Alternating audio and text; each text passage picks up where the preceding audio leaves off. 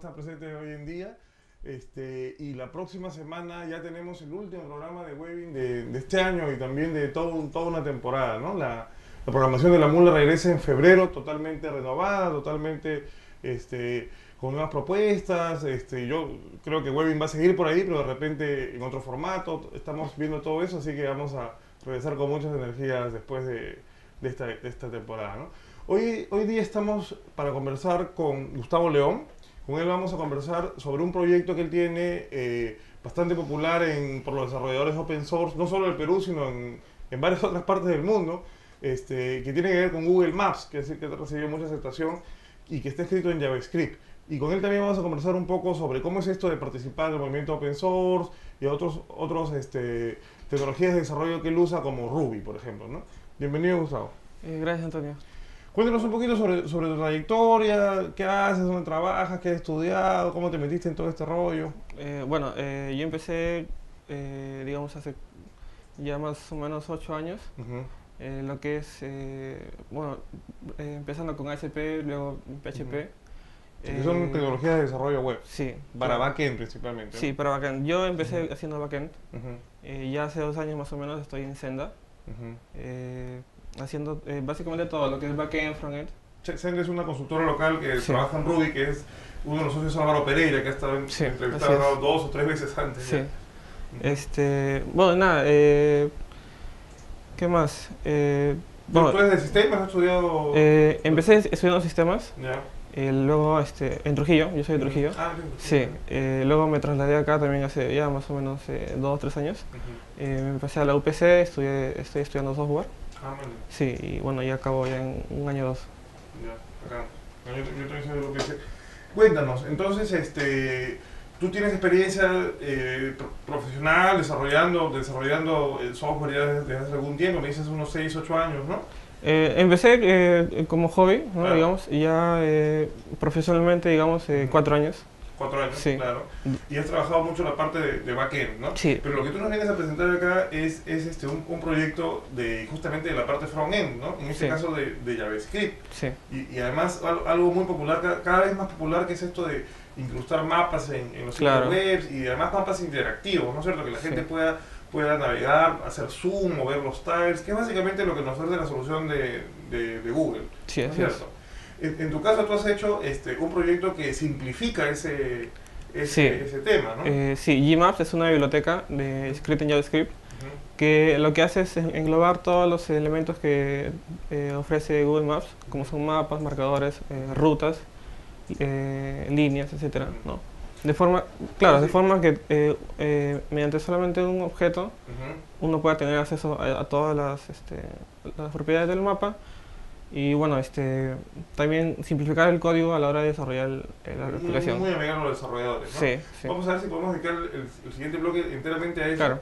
Pero cuéntanos un poquito más, ¿cómo fue este cambio de, de backend a frontend? Eh, ¿Fue por, digamos, la moda de Ajax, quizá algo que te animó a ir entrando? Eh, bueno? Eh, como te digo, yo empecé haciendo backend, ¿no? Ujú. Eh, pero empecé más o menos eh, autodidactic. Ujú. Entonces yo este, estuve viendo varios temas, ¿no? Eh, empecé con backend, luego me metí un poco a frontend. Eh, no tanto, eh, más, más que nada lo que era eh, CSS, HTML. Claro. Que Eh, al final todo, todo el mundo que tiene que hacer un proyecto web, Claro, tiene que tiene, tener un poco de tiene eso. que saber todo eso, llegado a un punto, yo este, antes de entrar a Senda, estuve trabajando en un proyecto personal que era una, una especie de Foursquare peruano. Y en el momento de desarrollo me di cuenta de que eh, trabajar con Google Maps es un poquito engorroso. ¿no? Ya. Digamos, o sea, la herramienta es muy buena, la biblioteca es muy buena, pero es, La es- API que, que se sí, es muy engorrosa, muy, muy, Muchos pasos. muy, muchos pasos, muchas líneas de código. Muchas líneas de código, Eh, digamos, tiene un, un- un pequeño estilo Java, digamos, ¿no? de, de programar. Pero digamos, la- la- los nombres de, los, de, de las API, de las clases, las son todos largos. Sí, son, son eh, Muy ceremonioso, digamos, Sí, el paso. ¿no? claro, tiene muchas, este, muchas eh, variables largas, por Ujú, ejemplo, ¿no? ujú, Los nombres largos. Sí, nombres largos. Entonces, eh, en ese momento dije, eh, no sé, voy a hacer una pequeña biblioteca que permita, digamos, crear un mapa, Ujú. agregar unos marcadores y algo de geolocalización de repente, ¿no? Que Claro. es lo que está de moda en ese momento. Y bueno, ahí nació, ahí quedó el- el- la aplicación. So- sospecho que esto tiene que ver un poco con tu experiencia eh, en otras tecnologías como Ruby, por ejemplo, donde ese tipo de cosas son muy populares, o, o Python, ¿no? Donde a veces encuentras librerías que están construidas sobre otras y simplifican mucho Claro, el claro. uso, ¿no? Sí.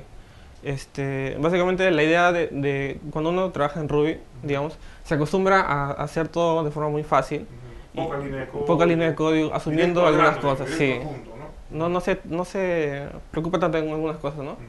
Entonces eh, decidí, bueno, hacer la biblioteca, quedó ahí un tiempo por el proyecto, digamos, ¿no? Empecé a trabajar en Senda Ujú. y surgió un proyecto para realizar este mapas también. Donde había oportunidad de aplicar esto, Claro, retomar un poco ese Sí, proyecto. entonces, digamos, re- lo, eh, retomé la, la biblioteca, eh, lo publiqué. Ujú. ¿no? Eh, Senda este, es una consultora que, digamos, tiene una filosofía muy open source. Ok. Entonces, digamos, eh, básicamente tratamos de que todos los proyectos eh, tengan el Extraer, de extraer alguna funcionalidad algo así, biblioteca, claro. Claro. Y bueno, de ahí este, surgió la idea de lanzar Gmaps como una biblioteca open source. Ujú. Eh, y, y tuvo acogida al inicio eh, relativamente poca, ¿no? Digamos. eh, pero ya luego de un tiempo, hace un- unos seis meses, de repente un poco más, eh, eh, salió en Hacker News. Ah. Sí, y bueno, fue un, un boom, fue, sí fue este, inesperado. Claro, claro, claro. Detalles nos vas a contar en el siguiente bloque, pero cuéntanos, este, ¿qué tal este cambio de, de, de, de ASP primero, Sí. luego me dices a, a, PHP. a PHP, PHP y, y luego a Ruby, ¿no es Sí. cierto? Y finalmente a, a JavaScript, JavaScript. ¿no? Este, interesante ese cambio porque de- eh, en Ruby ya habías comenzado a tocar algunas cosas de corte funcional, ¿no es cierto? Sí. Tipo, tipo closures, tipo, tipo lo, lo que, lo que este, en- Ruby se llaman bloques, pero que en JavaScript tienen esas funciones que se pasan como callbacks. Claro. Y, este, y JavaScript te encontraste un poco de, de nuevo con todo eso. Sí, de hecho, de hecho que sí. Este, bueno, digamos, yo empecé con ASP por el tema de que antes había eh, aprendido lo que era Visual Basic, antes de que eh, surgiera .NET y todo eso. Bueno, Eh, luego por el tema de hosting, en, en esos tiempos de hosting eh, gratuito era básicamente PHP nada más. Eh, hoy es muy fácil sí, hosting es donde hay soporte prácticamente para gratis. ¿no? Hay un montón Claro. de alternativas. Entonces, eh, nada, decidí aprender PHP. Ujú. Eh, ya eh, básicamente estuve ahí dos, tres años haciendo puro PHP. Y, y supongo que por, cuando quisiste descubrir un framework, este, te fuiste, digamos, a los top, a los más mencionados que son Ruby on Rails o, o Django, o alguno de estos, porque los de PHP son, no, no tienen tanta, tanto Claro. nombre como los de Claro. Ruby. de. En realidad, eh, en PHP nunca traje- trabajé con frameworks. Ah, ok. Entonces, eh, ahí fue donde, haciendo ese, tip, ese proyecto que te menciono de, de Foursquare peruano, Ujú. eh, me contactó Álvaro. Ya. Hablábamos, conocimos un, un- un- tiempo y de ahí me invitó a trabajar en Senda. Claro. Y ahí, ahí- Ahí conocí aprender Ruby, sí. Aprendí este, Ruby, Rails, Ujú. un poco de Sinatra, ¿no? Ujú. ¿Qué Y- y que te ha gustado Sí, bastante. sí, porque es, es rela- relativamente fácil de, de hacer todo, ¿no? Claro. claro. Eh, Ahí me imagino que tomaste un poco la idea no solo de las simplificaciones, sino también de tener una opinión, ¿no? Porque me imagino que, que parte de la complejidad de Google Maps es darte muchas opciones para que tú configures, Claro. probablemente, ¿no? sí, Pero en, en tu librería ah, probablemente has tomado algunas decisiones por los usuarios de, en aras a simplificar la, sí, la- sí. El, código, ¿no? sí. Eh, digamos, eh, Google Maps al inicio empezó haci- eh, utilizando jQuery para el tema de, de elementos del, de la, Del DOM, ¿no? del DOM, claro. Los Sí. del- Eh, del DOM y, y eventos, Y básicamente. eventos, claro. Eh, luego me di cuenta que no necesitaba estar tan atado a, a- jQuery, entonces decidí eh, quitar la parte de jQuery y programar la parte de, eh, necesaria que es para eventos y, y DOM eh, en JavaScript puro. Ah, directamente. Sí, y bueno, pero la sintaxis es bien similar a lo, a lo que ofrece jQuery, ¿no? Ujú. Digamos, eh, eh, hashes en vez de, o, o, bueno, objetos en vez de, Como selector de... claro, en vez de parámetros, Ujú. ¿no? Ese tipo de cosas. Ya, ok. Eh, nombres sencillos, Ujú. ¿no? Que se puedan encadenar, además. También, sí. Ujú. Eh, Es que Sí, es un poco el- el- el- un estándar, o sea, ya que es tan popular que Sí. digamos ha, ha impuesto un, como una especie de estándar Claro, de facto que mucha gente sí. espera. sí, o sea, uno cuando utiliza una, una, eh, biblioteca de JavaScript, Ujú. sea un plugin de jQuery o no, siempre espera que la sintaxis, la forma de programar sea similar. Es curioso porque de hecho hoy en día probablemente haya más gente que sepa jQuery a Exacto, JavaScript, ¿no? sí. Claro, se espera, se Sí. espera algo así. Ujú. ¿no? Oye, está bien interesante. Nos vamos a ir a, a un breve corte y regresamos al siguiente bloque.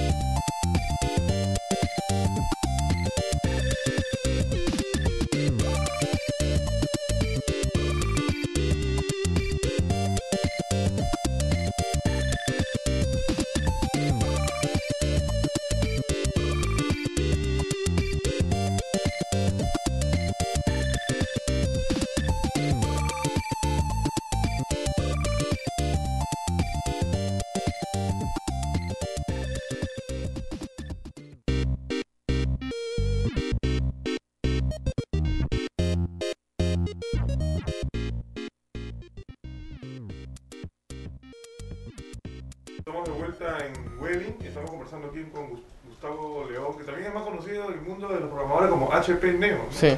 Me cuéntanos antes de entrar en, en el detalle de la librería, ¿cómo es eso de HP Neo? Bueno, es este. De hecho, es mi primer correo. Eh, bueno, el primer usuario de, de correo que utilicé hace ya bastantes años, 10 años más o menos. Muchas, muchas veces ya se vuelve como un alter ego Sí, lo continúa. sí. De hecho, utilicé el correo y de ahí empecé en todas las redes sociales eh, existentes. Ah, ese, ese mismo, Sí. claro. Es, es el, el- la conjunción de eh, HP, que es Harry Potter, Ah, y Neo por el, el Por Matrix. medio de Sí. La película de Matrix. Sí. No, no, sí, algo así me imaginaba, porque yo Ujú. pensaba que era HP la marca. Sí, ¿no? siempre me, han, me han dicho eso, es por la marca. Claro, Sí. claro, claro, pero qué fanático de, de la marca. Bueno, entonces, este, nos estabas contando de esta librería Gmaps y justo en el corte te estaba preguntando este, si implementabas todo lo que ofrece la librería de Google Maps, pero más fácil o algunas partes. Haznos un poquito un, paralelismo Mm, ahí ya. y, y cuéntanos este, cómo así te simplifica la vida usar la librería esta y no directamente la de Gmaps, ¿no? de Google Maps. Eh, ya, claro. Digamos, eh, en Gmaps están eh, es todas las opciones eh, populares, digamos, las más usadas, ¿no? Lo que son crear líneas, lo que son eh, crear figuras, obtener rutas, eh, dibujar rutas, mm, lo que son marcadores, ¿no? Eh, y las opciones eh, básicas del mapa, ¿no? Eso es prácticamente todo lo que está hecho hasta ahora. La, la idea es, y siempre se les invoca a los este, desarrolladores que, que colaboran, es que lo- antes de, de hacer una nueva funcionalidad, que ya existen algunas, digamos, es este eh, terminar de, de- de englobar todas las eh, Opciones. opciones de, de Google Maps, Claro. ¿no? Porque, digamos, lo principal es no depender tanto de, de Google Maps, sino de utilizar Gmaps para que te permita eh, de rápido. Claro. Ah, ah, ah, no, o sea, poder usar directamente las APIs de Gmaps, que es tu librería, Sí. este, como un wrapper o el otro, y este y no tener que además leerte la documentación. Claro. de- de- o sea, Claro. envolverlo completamente, Sí. no depender de, de la API Sí. de Google Maps, ¿no? Pero cuéntanos, a ver, la API de Google Maps, en líneas generales, ¿qué partes tiene? ¿Cómo se puede dividir? Eh, ya, la, la API de Google Maps eh, tiene lo que son mapas, marcadores, líneas, figuras, eh, rutas. Eh, tiene una, una nueva clase eh, que salió en la última versión, que son símbolos.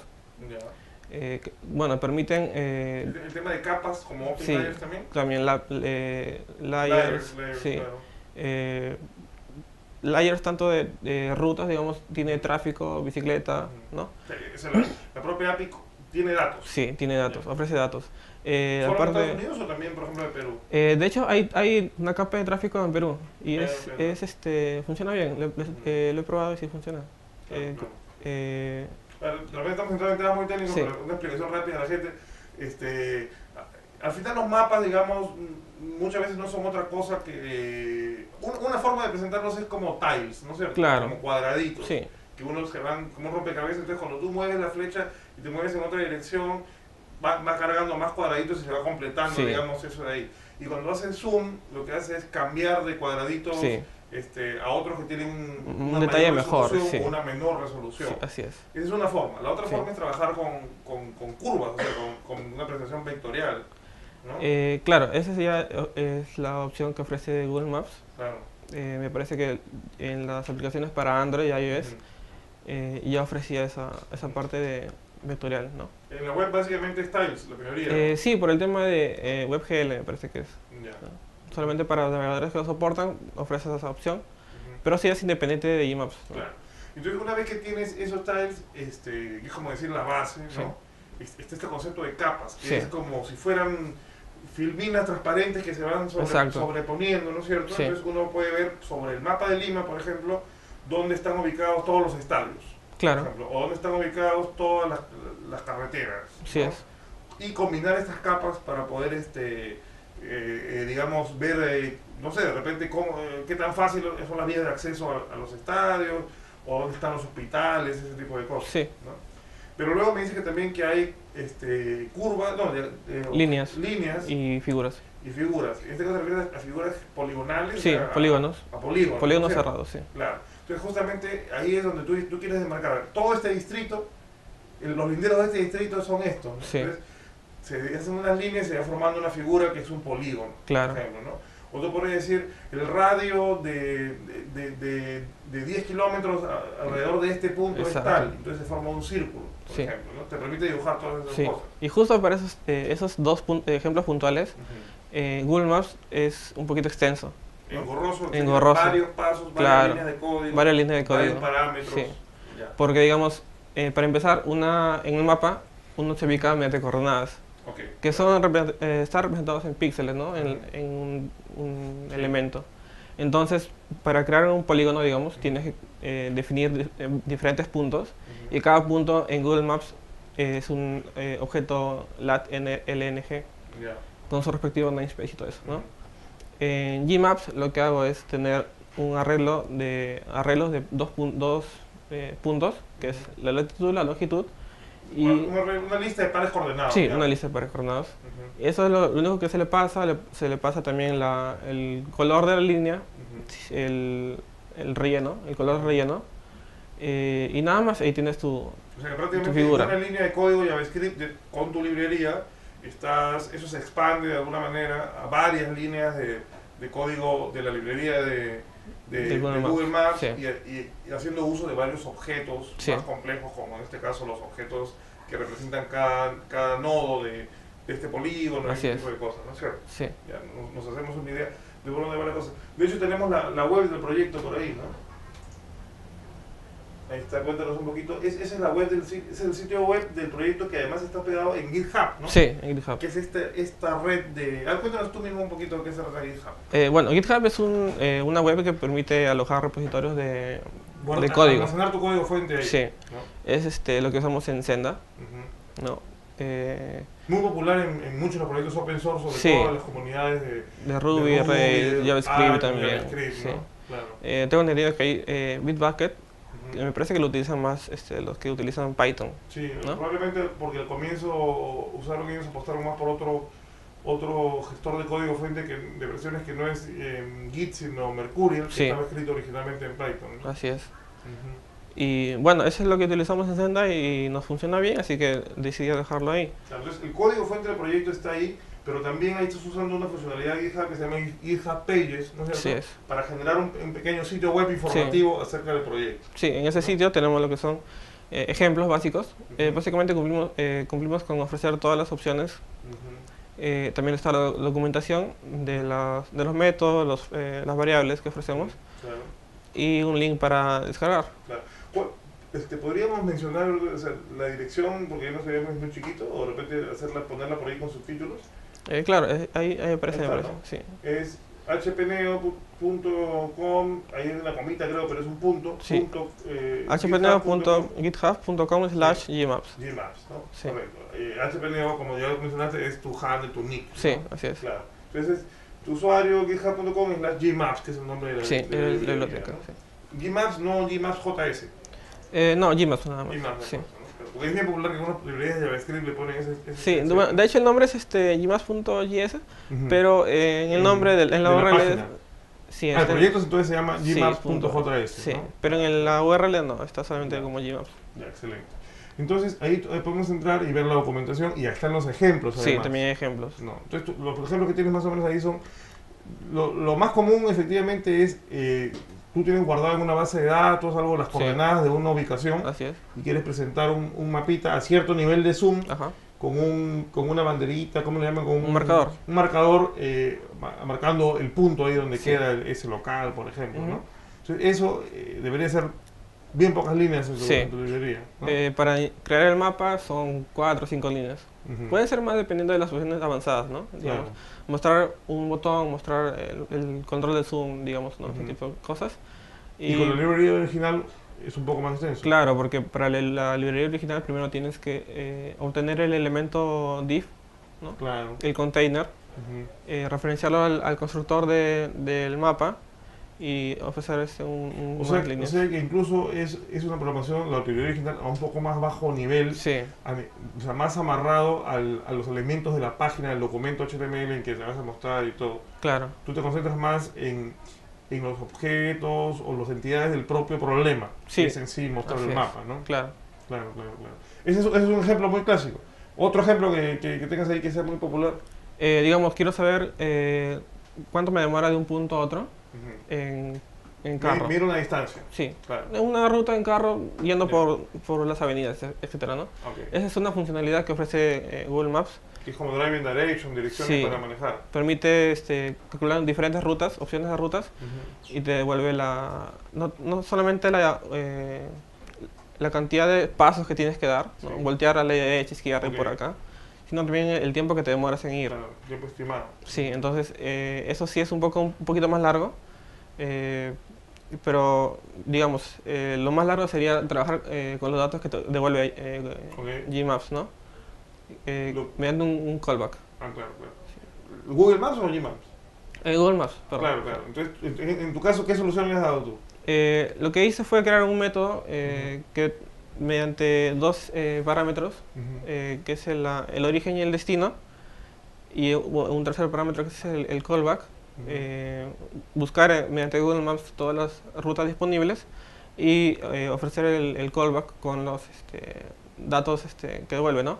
Y bueno, ahí puedes trabajar como, digamos, eh, dibujar la ruta en el mapa, eh, eh, mostrar un listado. El, el caminito, ¿no? Claro, listar los pasos a Los seguir, puntos. claro, listar el, el- la duración, ¿no? Ese tipo de cosas. Claro. Este, en- comentábamos que, que cada vez es más popular esta librería, cada vez más la conoces, so- sobre todo por esta publicación que hubo en una página que es muy, muy, muy este, popular entre los desarrolladores de todo el mundo, Sí, ¿no? es. que es este Hacker News, ¿no? Sí. Este, y hasta donde todo observado por lo que te comenta, porque supongo que también habrá este dentro del mismo GitHub reporte de bugs, Sí. pero me imagino que también tendrás alguna comunidad en Google, algún espacio Eh, no, del solamente el tema de GitHub, Ya, o sea, ahí están te los issues, comentarios, sí. ahí te dejan comentarios y... A veces por Twitter, digamos, Ok, me preguntan cosas. perfecto. Entonces, ¿qué otro feature así es como, como, como la carnecita, lo, lo más atractivo de la librería que mucha gente usa? Eh, básicamente geolocalización, Ujú. que en sí eh, hay un método que, que engloba todas las opciones. Eh, la parte de crear controles avanzados. Ya, también lo permite un- con menos, con menos llamadas. Sí, sí. Claro. Y la parte de este crear eh, overlays, que son capas encima del mapa, Ujú. que no son tanto capas de información, sino son capas HTML Ya. que permiten, por ejemplo, dibujar un, un cuadro informativo. Claro, claro. Por Sí. ejemplo, como una tarjeta, ¿no? Sí, Por ejemplo, este movimiento, o, aquí se está vendiendo tal auto, por decir, Sí. ¿no? Entonces mostrar un, un cuadradito con los datos del dueño, el teléfono del dueño, la foto del auto y el precio, por Así decir. es, ¿no? sí. Claro, claro. Y además personalizado. sí, Con porque, tus propios estilos claro, y digamos, todo eso. Google Maps tiene un, un control parecido, eh, que lo que hace es simplemente un, recuadro blanco con un borde y ya. ¿No? Claro, y, y además darle el efecto que cuando tú pasas el mouse sobre, encima del marcador, justo en ese momento aparezca. También, sí. aparezca, ¿no? sí.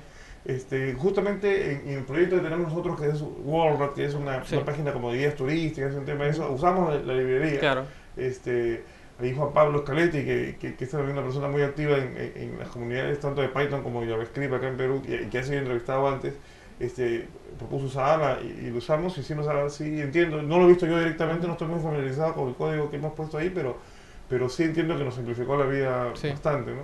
Y así supongo que tendrás eh, varios, bastantes usuarios Sí. este, agradecidos de Sí, que te has sí. tomado este trabajo. Eh, curiosamente, antes, eh, casi siempre antes de que alguien ponga un, un issue en GitHub, eh, te dicen, oye, gracias por eh, la biblioteca, me sirvió de mucho, y luego te dicen el problema. Ahí en el wiki de repente GitHub se podría tener este, una especie de lista de proyectos que usan la Eh, librería. de hecho, sí hay una lista de, de proyectos. Ah, sí la tiene. Sí, eh, está eh, WordRat, está eh, un, una- un proyecto que hizo este César eh, Soplin, Soplin, claro. uno, ah, y creo que reporta eventos en tiempo real en Buenos sí, Aires. en Buenos Aires, en Lima, en Ok. Santiago, me parece también, utilizando Gmaps. Eh, de hecho, hace poco me di con la sorpresa de que Olo, la, la, la web de Olo, eh, de este nuevo operador de, sí. telefon- de, de internet con, Internet con móvil. USB, internet Sí. móvil, ¿no? Sí. utiliza Gmaps para mostrar su mapa de, de cobertura. Ah, mira, es Sí. interesante. Y ellos no los conocen, ni son No, parte de la comunidad. no, o sea, sí. solitos ellos han buscado en internet Así es. y, y se han topado con tu librería en GitHub y, y- que de hecho es el proceso que sigue mucha gente. Sí. ¿no? Sigue mucha gente. ¿Y, y qué tal qué tal la reacción de, de, de- o sea, a ver, para explicar, a- para un programador que aparezca su código en Hacker News es un poco así como para que un cantante vaya a la Quinta Vergara, ¿no? O sea, ahí el sí. público, si no le gusta, le va a dar con palo. ¿no? Exacto. Igual en Hacker News, si, si no está muy bueno lo que has hecho, te van a dar, pero con palo, ¿no? Sí. ¿Qué- qué- ¿Cómo fue la experiencia y qué te Eh, Bueno, yo me enteré este, tarde, digamos, ¿no? dijeron? El, no, eh, no sé quién le habrá puesto el enlace Ya, ya. y empezaron a comentar, a comentar y todos los comentarios fueron positivos. Ah, qué bueno, qué Sí. bueno, qué bueno. De hecho, que justo ahí tocaste lo que llaman en inglés un pain, ¿no? un dolor, o sea, le- realmente era al- algo que a todo el mundo le molestaba, pero que nadie se había dado el Claro, trabajo de, sí. de envolverlo en, un, Sí. en una API fácil de usar, ¿no? Sí, la la- las pocas quejas que hubieron, bueno, la mayoría fueron sobre temas sobre eh, temas legales. Ujú. Digamos, eh, la última versión de, la, de las reglas de, de Google Maps Ujú. eh, no te permite crear un, un, un- un wrapper, Ya. ¿no? Y te da diferentes opciones, ¿no? Como ofrecer más funcionalidades propias Ujú. o eh, comunicarse con ellos mismos, ¿no? Y estamos en ese proceso también de... Ya, ok.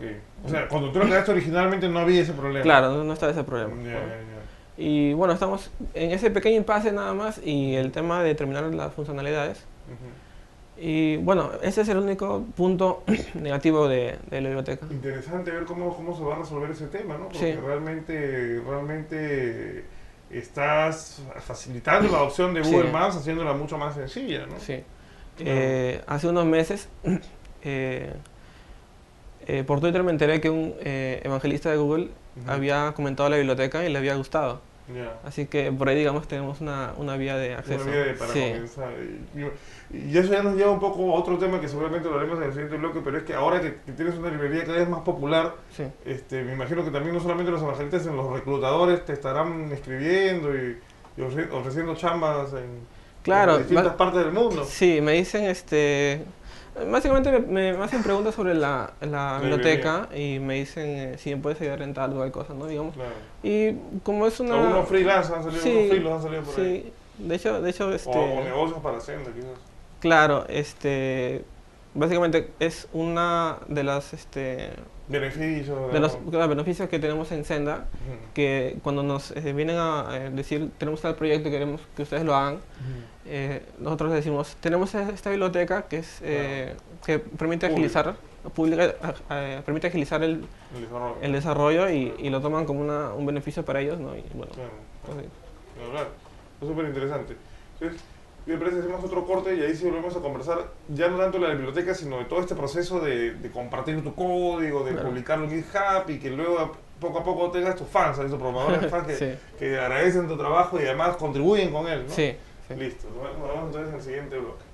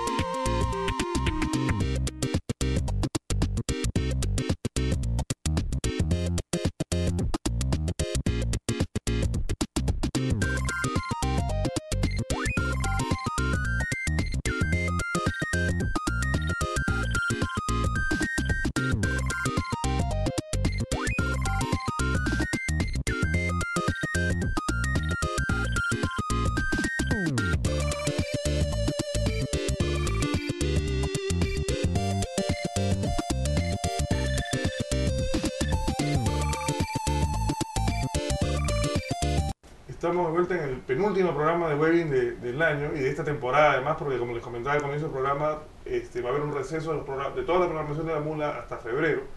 Y estamos conversando con Gustavo León sobre la biblioteca en JavaScript que ha hecho para que los- se les simplifique la vida, ¿no es cierto? A los- Sí. A los programadores usando las, todas, las, todas las, las APIs de Google Maps, ¿no? Incrustar mapas en tu proyecto, todo esto.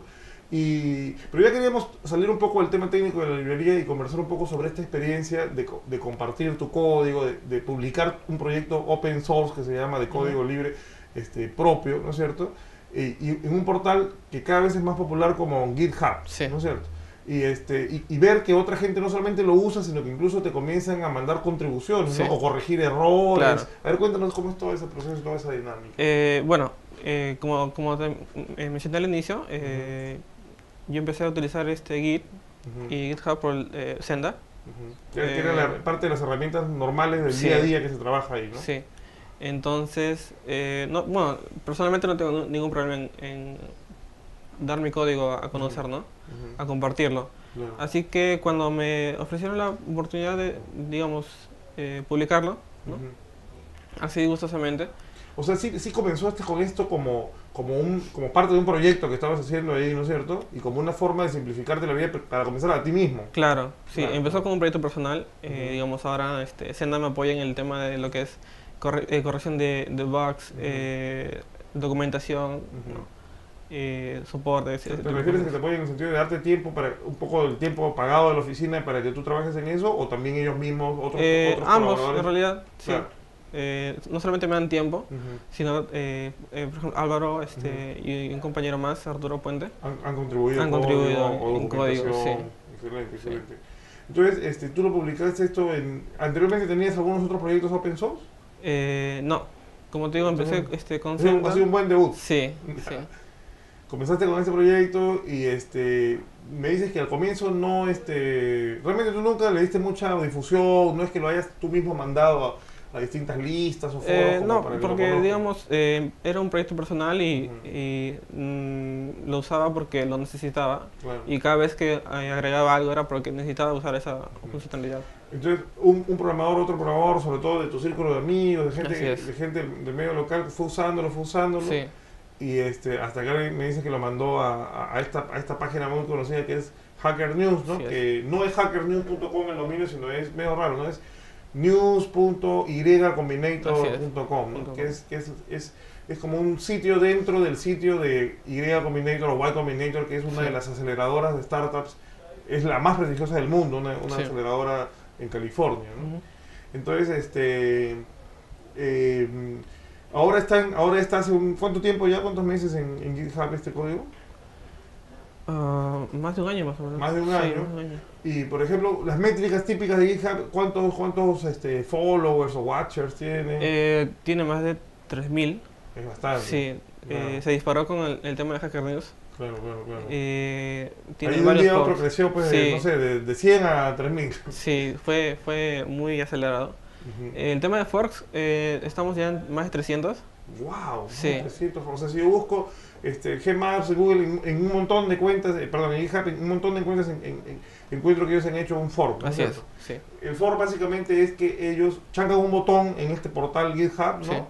Y todo tu código se copia como una carpeta, digamos, una- o un repositorio es el nombre técnico de ellos, ¿no es cierto? Sí. Entonces, en el tuyo, ellos, que son otros usuarios, no pueden hacer cambios No, solamente en el de ellos. en su copia de ellos. Sí, Pero luego hay un mecanismo de que ellos, las cosas que han mejorado o cambiado, te propongan que tú las Así es. incorpores, ¿no es cierto? Sí. Que es el pull request. así es. A ver, cuéntanos cómo va eso. Eh, los primeros pull requests fueron este, de Álvaro Ya. y Arturo. Eh, luego empezaron el, eh, a contribuir más, digamos, este, Juan Pablo, por el tema de WordRat.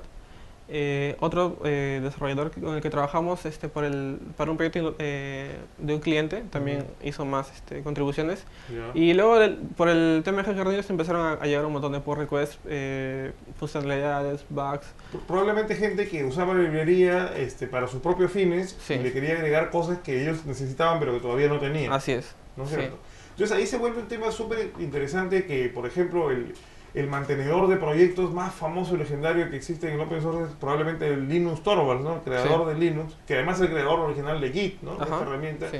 que es que ahí ya uno se vuelve, ojalá que no se resientan nuestros colegas programadores por lo que voy a decir, pero uno se vuelve no solamente el programador alfa o el, o el líder de un proyecto, sino una especie también como de community manager, ¿no? Algo así. Porque sí. tienes que hablar con gente, ver de qué se trata, agradecerle un poco por su proyecto, Sí. pero, pero muchas veces también, así como tú dices, sí, gracias por el código que me envías, también a veces hay que decir no, ¿no? Sí, Y, y- y juzgar un poco la calidad de, de eso. Entonces, sí. hay que buscar un balance entre mantener contenta a la gente y, y, este, también aceptar ese, su código. Claro. Y este, es todo, todo un, un- un segundo papel que uno tiene que Sí. jugar como, como, como maintainer de, de un, de un proyecto. ¿no? Así es. Eh, digamos, eh, justo hay un, un único pull request que no le he acepta- aceptado. Porque, digamos, ofrece una, un tema muy interesante que son animaciones de marcadores. Eh, Google Maps ofrece tres, cuatro eh, opciones básicas. Y el desarrollador que quiso, eh, eh, que mandó el, el pull request, me decía, hagámoslo de esta forma. Y yo le digo, pero, digamos, podrías hacerlo de una forma un poco más global. Para Más lo, general, más general para extenderlo a, a otros este, pun- eh, objetos del mapa, ¿no? Y bueno, este, ahí, ahí quedó el tema. Claro. Sí, Ahora, justamente este portal GitHub ha florecido mucho porque te permite res- resolver ese tipo de conflictos de una manera bien salomónica, que Sí. es, bueno, si no se pueden poner de acuerdo el creador original con alguien que quiere contribuir un cambio al proyecto, el, eh, pueden coexistir dos, dos copias distintas, ¿no? Es. Entonces, este, esto también es muy típico. Que, ¿Qué pasa si, por ejemplo, tú, este, por, por falta de tiempo, por otras prioridades en tu vida, dejas de contribuir a esto? Porque al final no es como un trabajo que te están pagando de repente para que te dediques a eso todo el día, sino que tú lo haces en la medida que lo necesitas para ti mismo, o lo necesitas en la empresa, o en la medida de tu, de tu tiempo libre, o mientras te resulte siendo interesante este proyecto, ¿no? sí, Entonces, tú podría ser que tú lo abandones prácticamente, lo dejes ahí, pero alguien que tiene una copia, este fork, ¿no es cierto? Podría continuar mejorándolo y volverse él quizás el maintainer de facto y mucha gente ya cuando viene a buscar la librería ya no copiarla de, de tu carpeta, sino Ajá. de la de él, digamos, ¿no? claro, sí, no había ningún problema. Este, Es muy normal que Es muy normal, cosas, sí. claro. eh, de hecho, en estos momentos estoy corto de tiempo por el tema de trabajo y hay varios este, issues que no se han cerrado. claro. Entonces, si alguien quiere apoyar más activamente en el, en el proyecto, este, bienvenido sea. Ujú. Y hay un tema bien, interesante que es el tema de cómo justamente cómo funcionan muchas de las comunidades open source que, que no son justamente la gente tiene que entender que no son democracias, ¿no es cierto? Sino son lo que dicen meritocracias, ¿no? Y también existe este, o sea, meritocracia quiere decir que no importa quién sea, si tú de repente eres el jefe de ingeniería de Google, ¿no? Este, pero si lo que estás proponiendo, mm, como la a los otros no les parece bien, ¿no? O de repente incluso tiene errores, o, o- o- o técnicamente alguien puede argumentar que hay una mejor solución, por más que tengas el cargo que tengas, no necesariamente tu código va a ser aceptado, digamos, Claro. ¿no? Ese es un tema, un tema de meritocracia, digamos, el Sí. que el que el que pro- el que tiene más méritos, o sea, ha hecho más cosas positivas para el proyecto, probablemente tenga una mayor autoridad o más galones que ha ganado, pero sobre estos méritos, no por otro tipo de Claro. fama o otra cosa que venga, ¿no? De Sí. otro lado, ¿no? Y también está esta figura que llaman el dictador benevolente, ¿no? Que es justamente lo que tú haces escogiendo qué cosas entran y qué cosas no entran a la librería, porque Claro. escogiendo qué cosas entran y qué cosas no entran, tú les vas dando la forma y estás este eh, ejerciendo una opinión, digamos, ¿no? Sí. ¿Qué es lo que tú crees que es lo mejor para el proyecto y para los usuarios, Sí. ¿no? Y supongo que ahí un referente también es este DHH y toda la gente de Rails que, que son famosos por haber impuesto esta, esta forma de que el software debe tener opinión, ¿no? Claro. ¿Y Sí. cuál es tu opinión al, al respecto? Eh, digamos, eh, como, como te mencionaba al inicio, eh, para el caso puntual de Gmaps, yo tengo una serie de, de, Criterios. de criterios. Claro. Primero está el tema de terminar de completar las funcionalidades de Google Maps. Luego, eh, ofrecer eh, funciones que no sean específicamente para un proyecto, Ujú, o, sino eh, en general que lo pueden usar eh, varias personas. ujú. Y si es necesario, eh, se puede crear un- una pequeña extensión utilizando ese- esas funciones. Ujú. O sea, tienes un mecanismo, contemplado un mecanismo de cómo extender Claro. una especie de plugins. Sí, porque el, el, digamos, el, el objeto este es público, Es extensible. es extensible. Claro, es que es un poco un concepto que ha popularizado en el mundo JavaScript al menos jQuery, ¿no? Sí, Que tú puedes, este, tienes la librería base, pero puedes extenderla Claro. personalizarla con, a través de plugins. sí, ¿no? sí. Y ahí es interesante que, a diferencia de Python, por ejemplo, o, o otros lenguajes o Java, JavaScript tiene un modelo de objetos abierto, Sí. parecido al de Ruby, en el que tú puedes meterte y reemplazar partes y, como decimos en, en Python, monkey patchar, o sea, este, puedes entrar a la librería, quitar cosas que no te gusten y modificarlas en, en caliente, digamos, Así es. ¿no? Sí. Que eso también supongo que es lo que se puede hacer con los plugins, Sí, es ¿No? un, bueno, es un arma doble filo, claro. pero es este bien útil para, para lo que es este crear extensiones, plugins y todo ese, ese Claro, tema, ahí, creo que lo que dicen es que este, eh, uno tiene que saber qué es lo que está haciendo. ¿no? Claro, sí. ¿no? O sea, se puede disparar en el pie, como dicen, no se Sí. puede, puede estropear las cosas, pero también es una herramienta muy potente para llegar a, a hacer cosas que, que ¿cómo se llama? Que, que, que- que, como dijiste tú, de repente no son del interés de la, de, de la mayor, mayor parte del grupo, pero Sí. que de alguien sí. Y, y que lo evita que él tenga que hacer un, un fork en el sentido de crear su propia versión Claro. totalmente incompatible con, sí, con la otra, ¿no? sí. Y este y, y qué tal este mm, qué tal la integración con Ruby, alguien de, de- propios tra- eh, gente que trabaja contigo ha, ha sacado algún wrapper o algo porque en Ruby es bien común que, que incluso las librerías de JavaScript las envuelvan en, Claro. en, en- en gemas o componentes que Sí. faciliten incluso su integración en el proyecto, ¿no? Sí. Bueno, eh, en el caso de Rails, eh, Álvaro hizo una, una gema Una que lo que hace es, eh, como ahora está el tema de eh, Asset Pipeline, claro, el, Que- el, el- el assets, o sea que es toda la parte de lo, lo que no es código en sí, sino Claro. este gráficos, este CSS, sí, JavaScript, todo lo que es frontend, eh, lo pone en una- un manifiesto y lo carga este solo, ¿no? Claro. No tienes que preocuparte por buscar la ruta y todo eso. Entonces, eh, lo que hizo fue crear un- una gema que lo que hace es descargar la, la versión, este, la última versión De de, Emaps, sí, instalarla ahí. y instalarla ahí y, y poder usarla este, en- con otros archivos de JavaScript. Ujú, Claro, claro.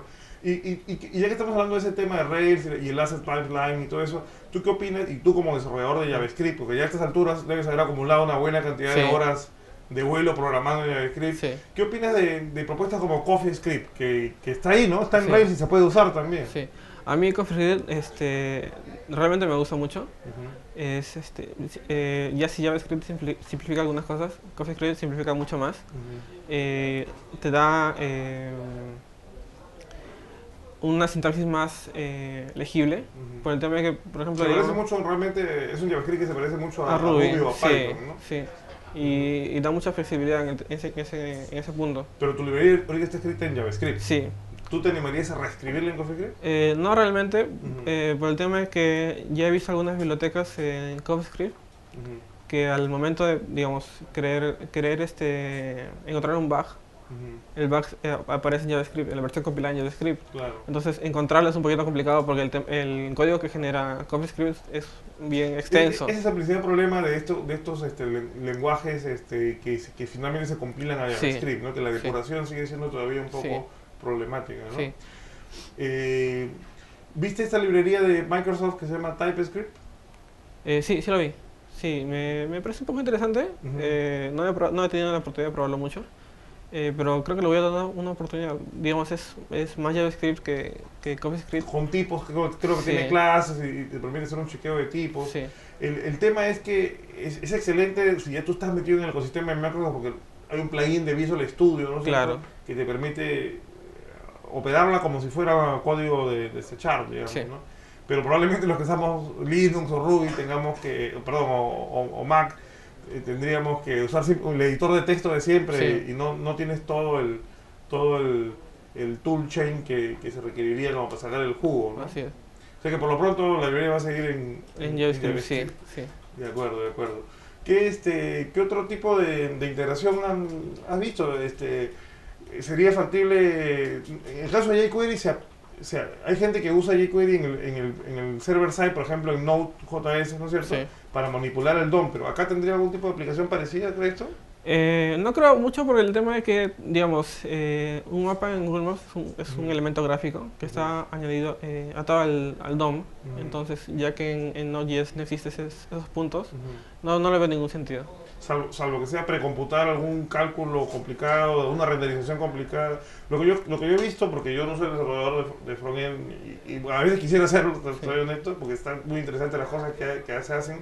este, es que en las máquinas más lentas, digamos, este, puedes este, renderizar cosas en el, en el server side y, Sí, y hacer servirlas renderizadas, ¿no? sí, Pero eso también es una tendencia que está cambiando porque hasta los mismos teléfonos ahora este, cada vez aparecen pues con dos núcleos, con, sí, con cuatro núcleos y, y los mismos este, runtimes de JavaScript los han hecho más rápidos y todo, ¿no? claro.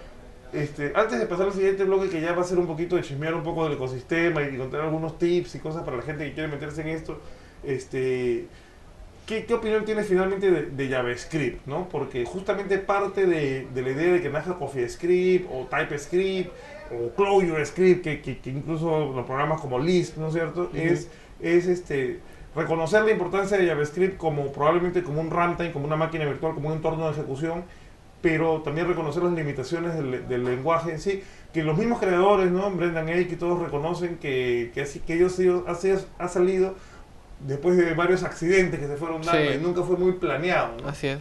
Pero ¿cómo- ¿cómo, ¿cómo es programar un proyecto grande en JavaScript y, y con todos estos retos? ¿no? Eh, personalmente no tengo ningún problema con JavaScript. ¿Estás acomodado bien? Sí, eh, eh, me gusta mucho la- Ujú. el programa JavaScript. Eh, el tema de CoffeeScript es básicamente porque te permite tener una eh, visión más Ruby de. JavaScript. ¿no? Ujú. Pero yo, por ejemplo, que, que vengo también de un background de, de PHP y luego de Python y con algo de cosas de Ruby que, que- que manejo ahí, sobre todo por curioso, este, sí he notado que, que, por ejemplo, en un lenguaje como Python o Ruby, eh, el código se siente más consistente y no hay muchos eh, efectos inesperados. Hay cosas en, PHP, por ejemplo, que, que- que son como truquitos que, que tiene el lenguaje que Sí. si no los conoces es fácil que, te, que cometas bugs. A veces un poco injustos para el programador porque Sí. son, son cosas como, que le llaman quirks, no sé, como, como detallitos un poco ocultos del lenguaje que es fácil equivocarse con Sí. eso, ¿no? Y, y, y JavaScript tiene bastante de eso, incluso este, este famoso desarrollador de evangelista de, de Yahoo, Douglas Crawford, ¿no? Sí. este, escribió este libro que dice las buenas partes y las malas partes Sí. de JavaScript, ¿no? Entonces, tú, tú, tú sí, supongo que sigues las buenas partes, o sea, digamos, Sí. que tienes mucho cuidado de qué, qué parte de las APIs de JavaScript usas para justamente no meterte en estos callejones sin salida, digamos. Claro, digamos, eh, eh, trato de utilizar la forma más estándar de JavaScript, eh, cosa que no haga problemas con, con Internet Explorer, digamos. Ya. ¿no?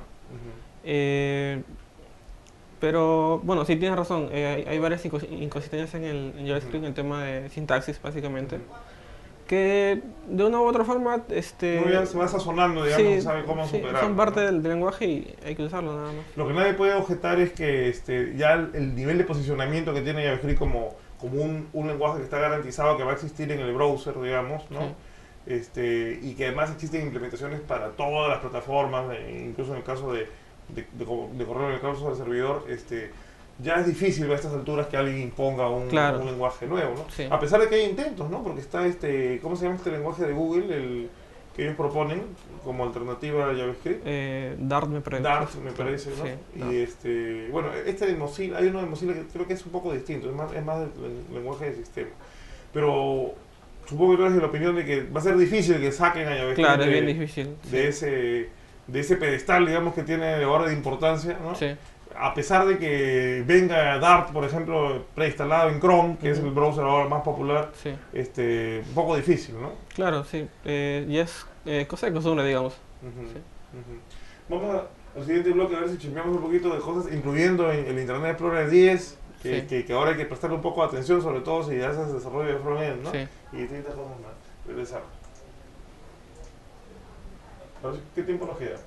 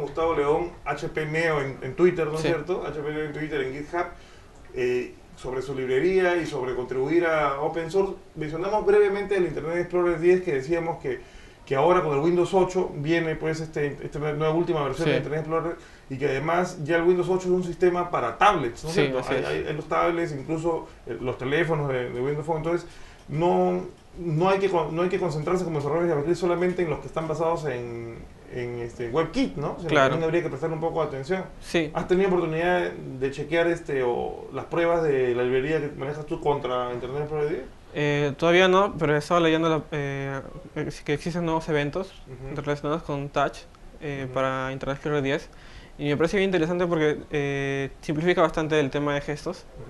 Y creo que eh, sería interesante ver una eh, parte nueva de GMAPS para ese tipo de eventos. Bueno, el, el, ¿cómo se llama? El, el, mensaje un poco es que hay que comenzar a preocuparse por soportar también Internet Explorer 10 porque, porque va a venir con Windows 8 y, este, y, debería ganar tracción relativamente rápido a pesar de que Chrome es, es hoy en día el más popular, ¿no? Ya estamos súper cortos de tiempo, así que te pediría que le des unos consejitos rápidos a la gente que tiene código, ya sea de Python, Ruby, JavaScript, lo que sea, y, este, y le gustaría compartirlo y tener un poquito esa experiencia, ¿no? De, que tu librería la use mucha gente de, todo el mundo y te compartan y todo esto, ¿no? Eh, bueno, lo principal es que su idea sea buena, eh, no en términos de, de técnicos, sino que eh, sea importante para un grupo de personas. Claro, solucione, una, solucione un, tema puntual. ¿no? Digamos, el código luego se puede reescribir, se puede mejorar. Luego, que no tengan miedo de que los critiquen, eh, a mí me criticaron un, par de veces por el tema de, de la forma de, codificarlo. Eh, y bueno, así se aprende. Claro, sí se aprende. Es una prueba de fuego, digamos. Los beneficios, una vez que lo has hecho, probablemente sean muchos, ¿no? Sí. O sea, no solamente te vuelves más atractivo a, cualquier empresa que te quiera contratar, sino que, digamos, no solo aprendes también, sino que hasta hasta tu fama, digamos, te, invitan a programas tan importantes como Web y todo este tipo de cosas, ¿no? Sí. Me parece excelente, entonces. Entonces, finalmente, cerramos este, mencionando de nuevo el, sitio web ¿no? del proyecto porque debemos chequear sobre todo lo que son los desarrolladores. E incluso si no son desarrolladores, si hay alguien ahí en startups, gente que toma decisiones, sería bueno que le comenten a su equipo de desarrollo que con esta librería pueden simplificarse mucho la vida. Sí, ahorran tiempo. Ahorran tiempo. Y, además está en JavaScript, o sea que no importa si programan en PHP, en Ruby, en Python, en .NET, van a poder usarlo, ¿no es cierto? Entonces es hpneo. termina de leerlo tú, por favor. Eh, hpneo.github.com slash gmaps. Y para preguntarte cualquier cosa, conversar sobre eso, que te sigan en Twitter. Eh, sí, en Twitter o también pueden crear un issue en, eh, en, en GitHub. Claro. Y con gusto los voy a atender. Perfecto. Entonces nos vemos, muchas gracias Gustavo, nos vemos en el siguiente programa de Webin, que va a ser el último, como lo digo, de esta temporada, todavía no sabemos quién es el invitado y Germán ha prometido que ahora sí viene, así que nos vemos en el siguiente programa. Gracias.